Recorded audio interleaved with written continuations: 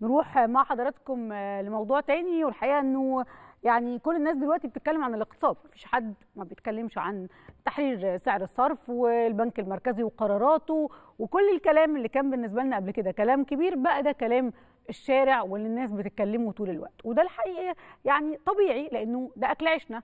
حياتنا مصاريفنا هنصرف إزاي هندفع مدارس إيه تفاصيل الحياة كلها اللي النهارده كل الناس بتتكلم عنها. هناك قرار مهم الحقيقة أصدره الدكتور محمد معيط وزير المالية وهو قرار صرف مرتبات مارس للعاملين بالدولة بالزيادات الجديدة اللي وجه بيها سيادة الرئيس وده ضمن حزمه حماية اجتماعية استثنائية صدرت مؤخرا ب يعني قانون بتعجيل العلاوات الدورية للمخاطبين بقانون الخدمة المدنية ومنح علاوة خاصة لغير المخاطبين وزيادة الحافز الإضافي.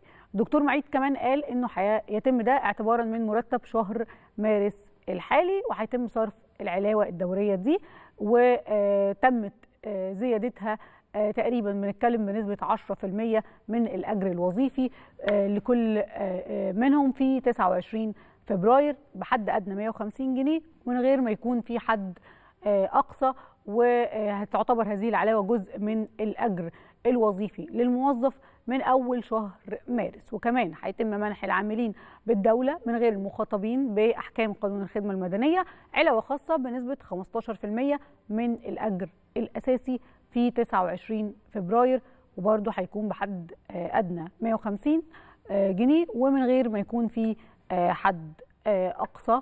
وده هتكون هذه العلاوه جزء من الأجر الأساسي للعامل من أول مارس الحالي. خلينا نفهم مع حضراتكم تفاصيل القرار معانا على التليفون الاستاذ إسلام السعيد نائب رئيس القسم الاقتصادي باليوم السابع. مساء الخير على حضرتك وكل سنة وأنت طيب. رمضان كريم ودخلت رمضان وهذا يعني القرار الهام جدا واللي هيدعم أسر مصرية.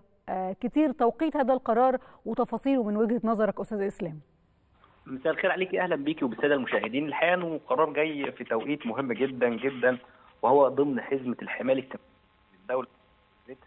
يعني كان توجيه واضح من فخامة الرئيس قبل شهرين من الآن بتعديل الأجور وتعديل الحد الأدنى الاجور الحقيقة إنه القرار ليه تفاصيل وظروف كتيرة تبدأ معانا من زيادة الحد الأدنى للأجر الوظيفي للعاملين. في القطاعات الإدارية للدولة ليصبح 6000 جنيه في سابقة هي الأولى للتاريخ. يعني أول مرة في التاريخ نسمع عن زيادات الأجور لهذه الأرقام في مدد زمنية متقاربة جدا. يعني لو بصينا على فكرة تعديل شرائح الأجور في مصر بنتكلم على ست زيادات منذ عام 2016 2019 عفوا طبعا زيادات متكررة في الأجور بتوجيهات وضعها من سيد رئيس الجمهورية لتعميم برامج الحماية الاجتماعية لتشمل أكبر عدد من الموظفين سواء المخاطبين بالخدمه المدنية أو غير المخاطبين من الخدمة المد... بقانون الخدمة المدنية م. وبناء عليه كل الموظفين في الجهات الإدارية في الدولة هيصرفوا هذه الزيادات بداية من شهر مارس الجاري يعني هياخدوا مرتب مارس بالزيادات الجديدة زي ما حضرتك قلتيها.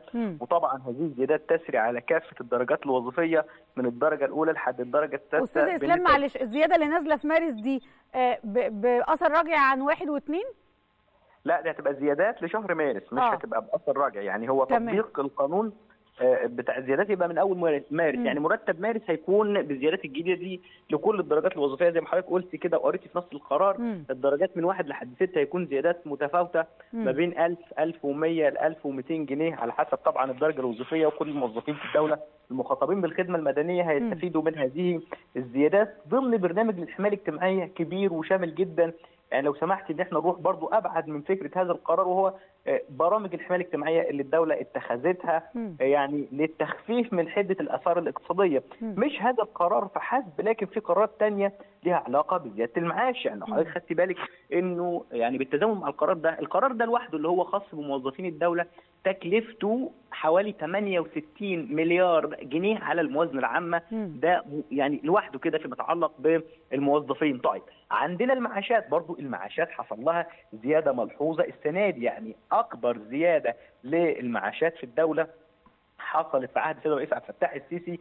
وكمان عندنا حاجة مهمة جدا ليها علاقة بحد الإعفاء الضريبي ما هو برضه القطاع الخاص ليه جزء من المزايا والمنح والإعفاءات. يعني تم زيادة حد الإعفاء في القطاع الخاص بنسبة 33% السنة دي يعني من 45000 لحد 60000 يعني اللي يتقاضى لحد 60000 جنيه في السنة اللي يتقاضى 5000 جنيه في الشهر كده ما عادش يدفع ضرائب. ودي حاجة مهمة جدا ضمن حزمة من الحماية الاجتماعية تشمل عدد كبير جدا من الموظفين يعني وفق توجيهات السيد رئيس الجمهورية عشان تكون مظلة للحماية من بعض الآثار الاقتصادية اللي تمت مؤخرا نتيجة بعض التغيرات العالمية اللي تسببت في تضرر الاقتصاد المصري بوجه بطريقة أو بأخرى نتيجة هذه التطورات العالمية.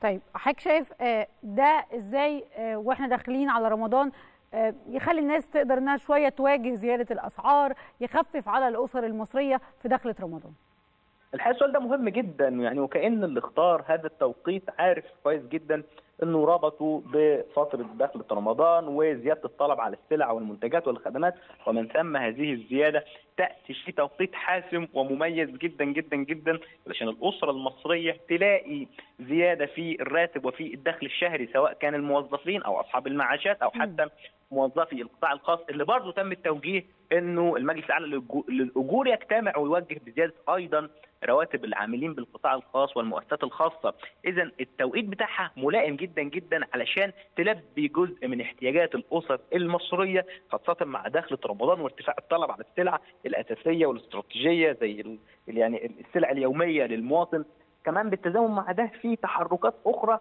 علشان فكرة التحكم في حركة الأسعار يعني بالتزامن مع هذه الزيادات عندنا عدد كبير جدا من المعارض اللي هي معارض أهل رمضان اللي منتشرة في أرجاء الجمهورية المختلفة اللي بتوفر السلع الأساسية للمواطنين خاصة الأغذية منها بأسعار ملائمة جدا. فكل هذه الإجراءات هدفها الأساسي هو التخفيف عن المواطن في ظل هذه التطورات والظروف الاقتصادية اللي الناس كلها طبعا شايفاها وكان آخرها قرارات البنك المركزي عشان توصل لسعر عادل للعملة علشان تبدأ تهدي شوية من حركة الأسعار نتيجة بعض التطورات اللي حصلت مؤخرا.